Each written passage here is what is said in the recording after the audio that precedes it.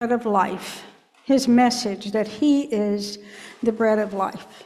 And in particular, we've been connecting that statement and him being the bread of life to our Eucharistic life, to our habit of Eucharist, knowing that this is our adaptation of that life, and this is the way that we receive the Holy Spirit and are renewed for the life we live.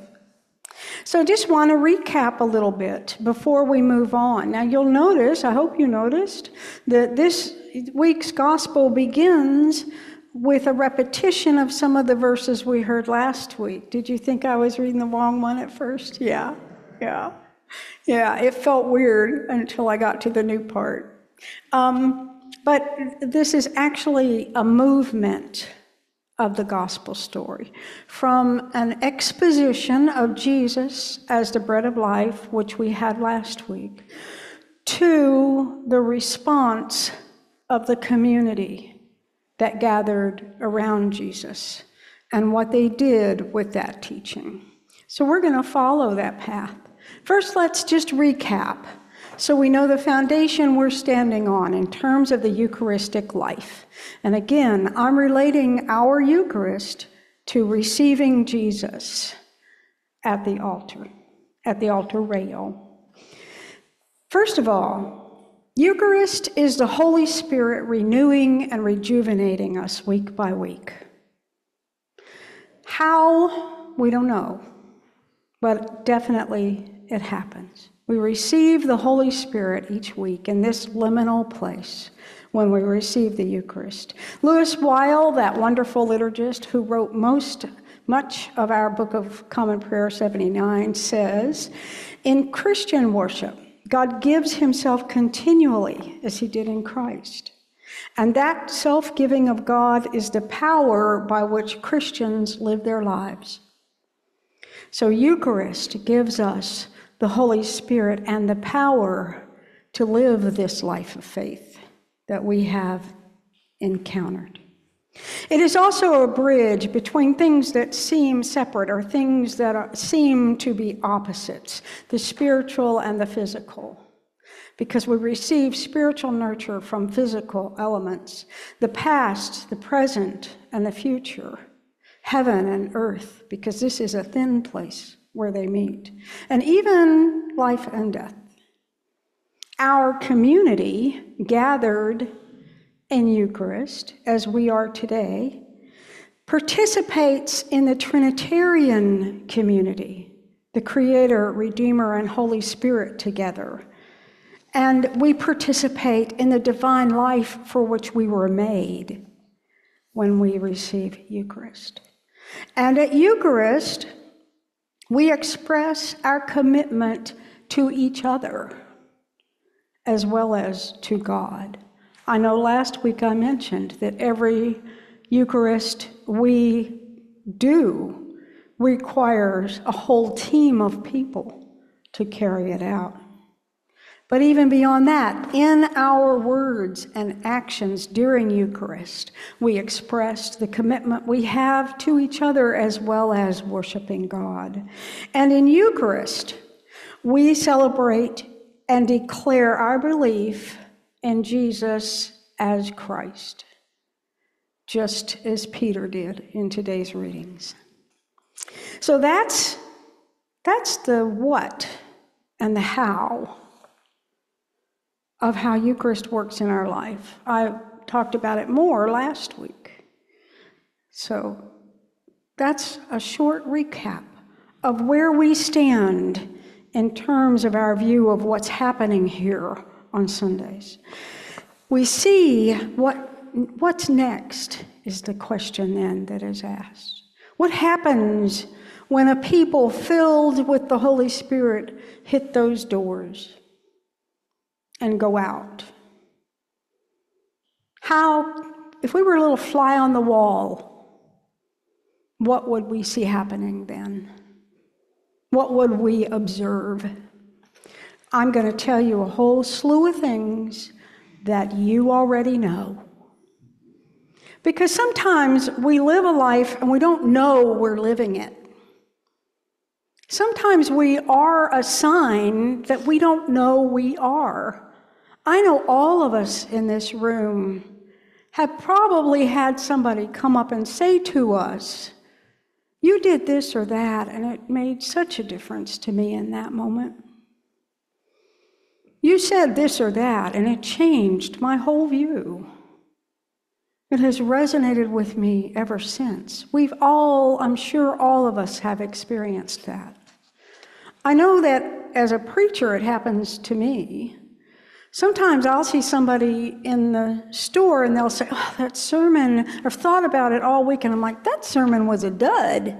I, what did you hear? Because I'm pretty sure I didn't say anything that ought to resonate all week. We don't know what we're doing a lot of the time. We don't know who we're being. So let me tell you what somebody standing on the sidelines would see in this community of people who goes out having received the Holy Spirit in this liminal place and then hitting those doors.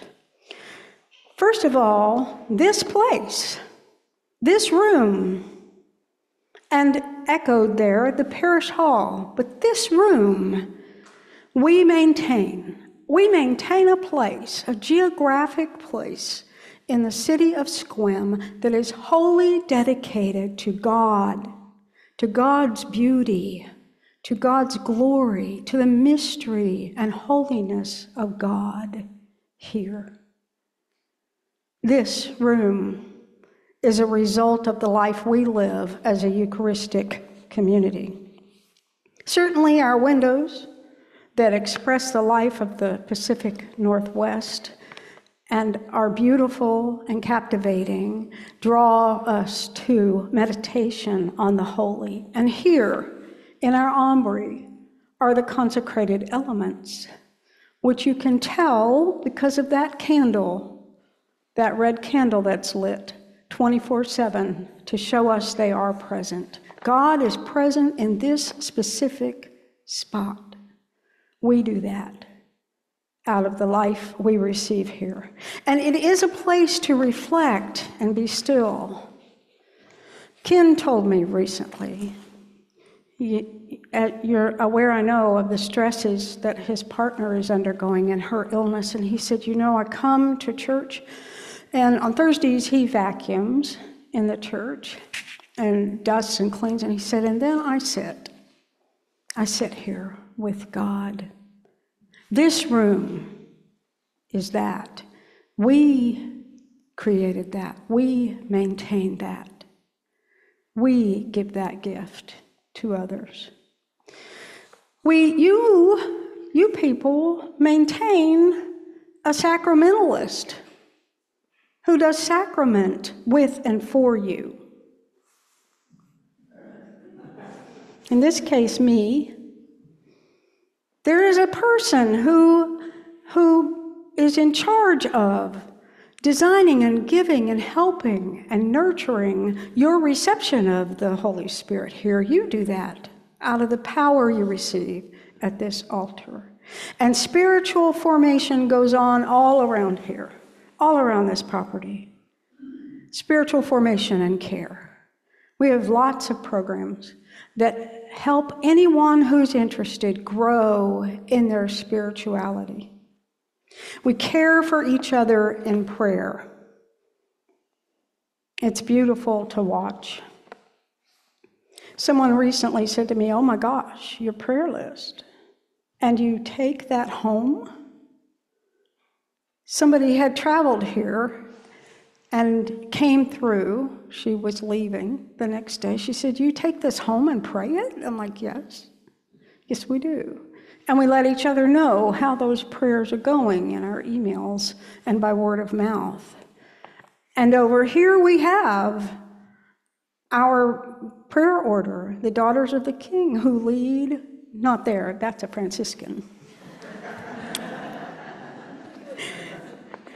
Daughters of the King who lead our healing prayers during the 10 o'clock service. And over here we have another Franciscan. I, I didn't plan this, but hello. And candles so people can come forward. And you can do that all week long. Come forward, light a candle for an intention that's on your heart. We pray for each other. Let's not leave out the religious vocations among us who live lives of service and prayer. In addition to our Daughters of the King prayer order, people who are vowed for that, that comes from the power we have, the Holy Spirit that we carry, the love that we carry out. And along with that prayer goes practical care of each other. Flowers that go out from our altar that heard our prayers, communion to homes, meals, rides, hand holding, care for each other in all the times when we need care. This is a place where we can express our own personal gifts as well. The Bazaar Guild, who puts on our beautiful bazaar every year, that who makes everything we sell. The quilt that you see out front is just part of the quilters that come here and offer their gifts. We have musicians, we have leaders of, of studies, we have, we have all kinds of people who do all kinds of things for us. That's empowered by the Holy Spirit and the Eucharistic life that we live. This is a place where we can have fun together. Right, Chris? We have a plot. Something's coming. It's going to be fun. Well, you're mostly plotting. I'm just enjoying. yes, it's a place where we have fun. And this is a sanctuary. We are allies for anybody who is less than, who is oppressed, who is marginalized in our society they can come here and they'll find safety and kindness. And we extend welcome and care to others in the community. Soups On is an obvious example. The Celtic concerts are an example. All of the music thing, events that we offer in terms of the concert in the park and our jams just examples of the welcome and care we offer to other people in the community. We are able to do all of this because of what happens right here. This is not something we would be able to sustain. We are not just a group of like minded people joined up together. In fact, you'd be hard pressed to find two of us who are on the same mind on some things, right? They always say Episcopalians fight like crazy and then all come to the altar together. This is what drives this life. It reminds me of what Elisha and Elijah said to each other when Elijah was about to go up into heaven in the chariot of fire. As they made that final journey before Elijah went up, he kept telling Elisha, Stay here. Stay behind. Don't come. They didn't know what was going to happen. They didn't know if this would be one of those experiences where Elijah went up in the fiery chariot and everybody else around turned to ash. Elijah didn't know if Elisha would see something that traumatized and grieved him, and we hear that he did, in fact feel trauma and grief in that event. He didn't know. He wanted Elisha to be safe. This man was like a son to him, and he wanted him to stay behind. And Elijah, Elisha said, As the Lord lives, and as you yourself live, I will not leave you. We have that stance with each other through our Eucharistic life. As the Lord lives, and as you yourself live, I will not leave you.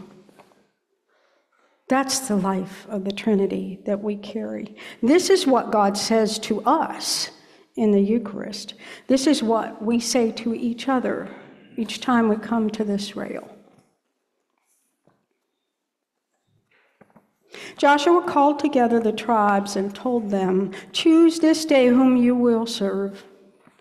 We choose a Eucharistic life where we live and say what Peter said Lord, to whom can we go? You have the words of eternal life.